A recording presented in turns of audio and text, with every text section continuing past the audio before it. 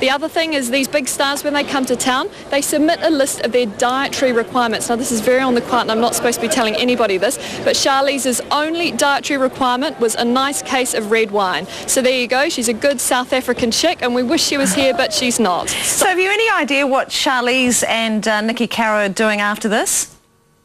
Mm, No, she's gone. She disappeared. Well, there you go.